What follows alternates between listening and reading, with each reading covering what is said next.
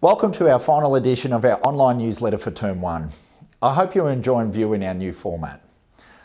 Two weeks ago, both our Year 5 and 6s attended camp. I was fortunate enough to attend the Year 6 camp at Coonawarra in Bairnsdale, while Miss Sanders, our head of middle school, attended the Year 5 camp at Arrowbrae Lodge in Warburton.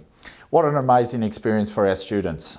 Both the camps provided outstanding facilities with flying fox, giant swings, damper cooking, ropes courses, 7D cinemas, and even gold panning. The kids were certainly kept very busy throughout the week. Uh, we're very proud of the children and the way they embraced the camping experience, especially those who were attending camp for the first time. The opportunities our camping program offers for students to develop their independence, resilience, and to continue to build relationships with their peers and teachers are outstanding. I'm sure the students will take lifelong memories with them from this experience.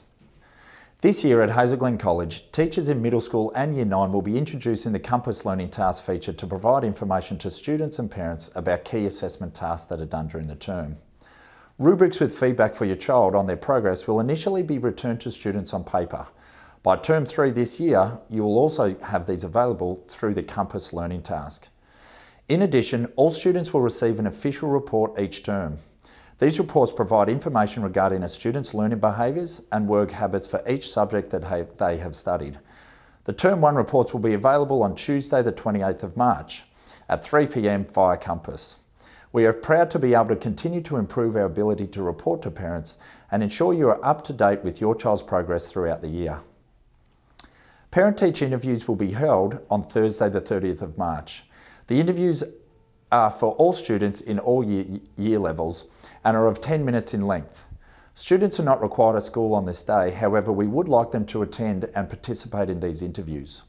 You are able to book your interview time through Compass. Please allow yourself 10 minutes between each interview as it does take some time to move from one room to another. Out of school hours care will be available on this day. Please note that importantly, a single 10 minute session with an English humanities or math science teacher is all that is permitted. Please don't book a separate interview for your child's English and humanities or maths and science teacher if your child's teacher in these areas is the same.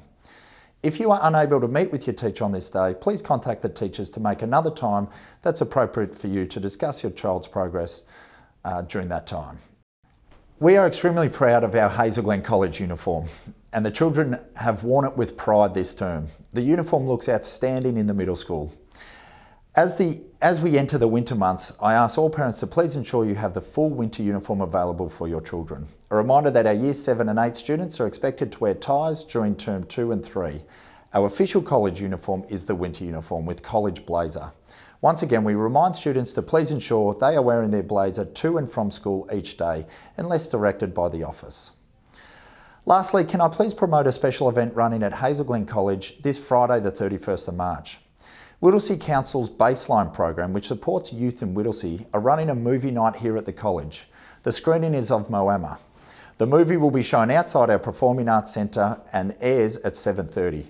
Families are welcome to attend from 6.30. Feel free to bring your picnic rugs uh, and our cafeteria will be open and serving food. Further information can be found on our website about this evening. If you're planning to attend, please register your interest online as spaces are limited. Sure to be a great night for our community. I've had such an enjoyable start to the year and would like to thank all the parents in our school community for the support you have offered throughout term one. I hope you all have a safe and enjoyable Easter break and look forward to hearing all about it on your return to school on Wednesday, the 19th of April. Thanks again.